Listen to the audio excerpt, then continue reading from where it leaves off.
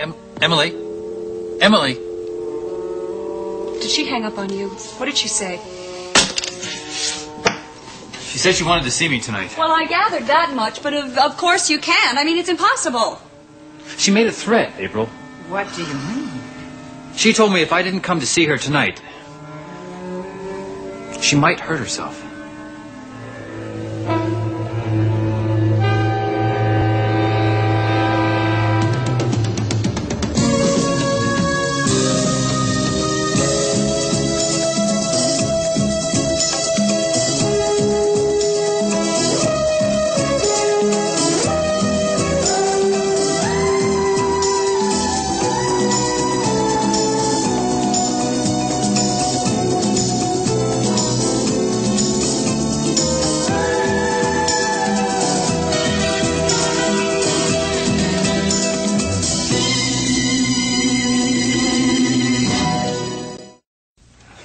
This is dreadful. Uh, we have to do something about this right away. Molly is right. Draper, we should contact the hospital, her doctor, or No, no, wait a minute. She didn't come right out and say anything. Oh, she sounded so well. I mean, I was just thrilled to hear her voice sounding almost, oh, just back to normal. Well, she sounded strong, Molly. It's just that her mood was just so strange.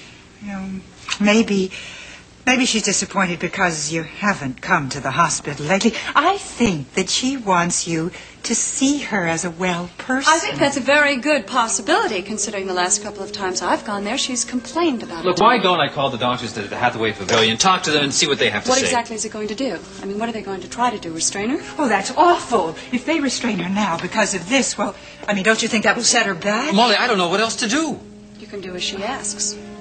You can go and see her. Oh, yes, Mr. Scott. Now, if you were there, you could judge for yourself whether she really needed anything You can't do done. that, Draper. You are due in court in the morning and you haven't finished your brief. And I'm not going to finish it unless I get that file from the office. Maybe. Maybe I could pick it up on my way back from the hospital. It is at the opposite end of town. I can't do it. I have got to finish this this uh, financial report for tomorrow's I meeting. know, I know that, April. I know that. I could get it for you, Mr. Scott. Molly, it is your night off. Well, I don't mind, really, Mrs. Scott. I don't, especially if it'll help Emily. Well, What do you think, April? Is it all right? Oh, of course, of course. I guess that settles it. Now, look, April, I don't want to feel guilty for the rest of my life because of something I didn't do tonight. Do you I- understand? I understand that, Draper. Molly, you know the address. I'll write down the file number that I need, and I'll also give you a key for the office. Good, thanks. I understand it all right. Oh, hi, Shelley. Hi, Nancy. Welcome home. Thank you. It's good to be home. Good to see you. Mm, how are you? Fine. I took care of Mike just like you asked me to. Thank you. Oh, he certainly did. He never once complained about my cooking. Of course, he didn't eat much of it either. Oh. well, um, how is the job hunting going? Well, I've had three interviews in the last two days. Even got a haircut, but no luck yet. Uh, Kelly, I have a suggestion. What about television? You know, I've been spending a lot of time down at station WMON replacing Nicole, Uh-huh. and um, I understand that they're thinking about a new children's show. So why don't you go and talk to Geraldine Saxon? That'd be terrific. Uh, do you think it'd be okay if I called her tonight? Yeah, probably would. But uh, first, there's another call you should make to Cliff Nelson. Cliff? Why? Well, I don't know what he wanted, but he seemed anxious to talk to you. You could call him now. He's still at the office. Yeah, sure. And that means I better get back to my home office. Got a lot of work to do for tomorrow. Okay. Uh, dinner in a little while. Uh, will you uh, be joining us, Kelly? Uh, no, I, uh, I have a date. Oh, okay.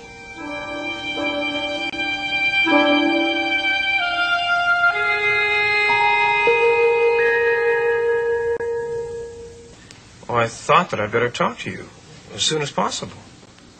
Uh, what about? Well, the story you told me about what happened in Rome.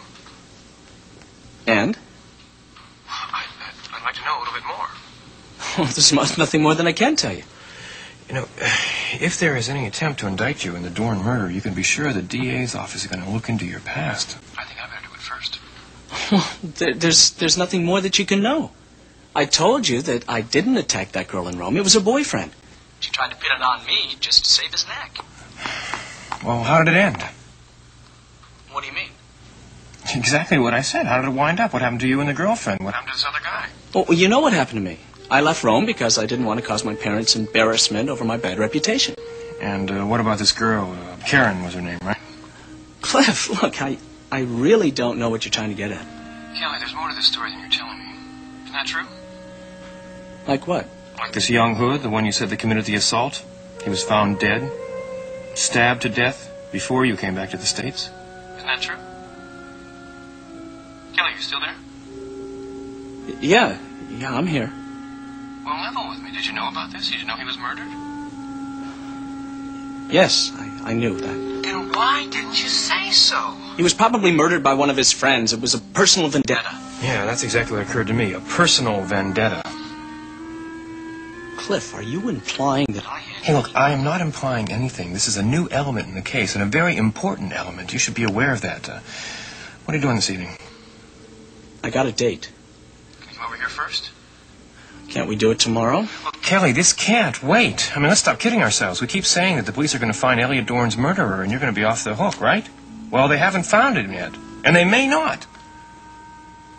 So, uh, I believe your story, but I, I just don't want anything to go wrong, so you better come over here.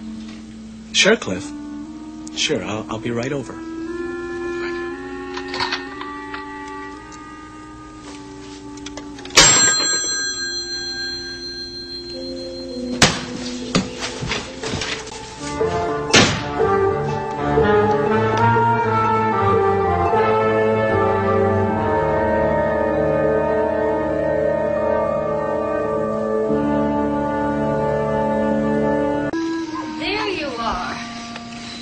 Dinner in about 20 minutes, okay?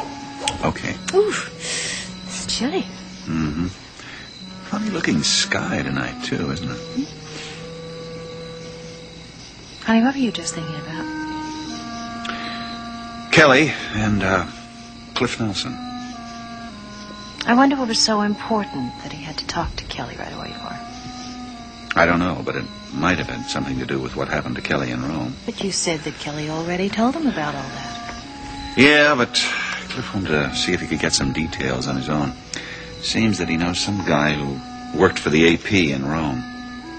And? That's all I know. Cliff hasn't told me anything yet. Well, he'll probably just um, confirm what Kelly said. Don't you think so? If you mean, um, do I believe Kelly's story? The answer is yes. It would be very simple just to call Cliff and find out what the man said. Yeah, that might be a good idea. Probably won't amount to much. Cliff has a habit of exaggerating things.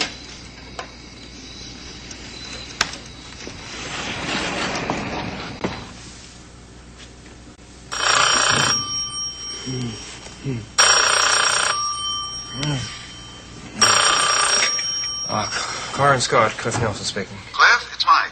Oh, hi, Mike. How are you? I wanted to find out if you had a chance to uh, talk to that friend of yours with the AP. Yeah, uh, I heard from him. Well, did uh, his story of what happened uh, differ from uh, Kelly's version?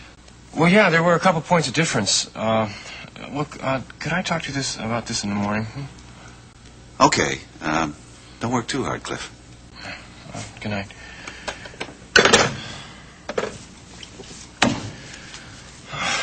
Kelly, where are you? This rate, I won't be home until 10 o'clock.